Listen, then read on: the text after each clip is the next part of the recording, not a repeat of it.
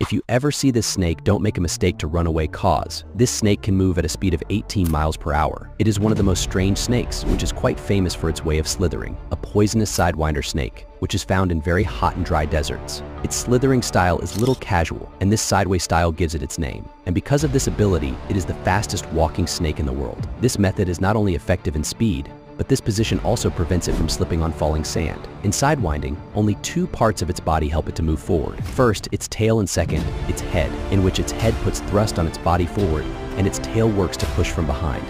And this loop keeps running. Subscribe SciTech Saga for more.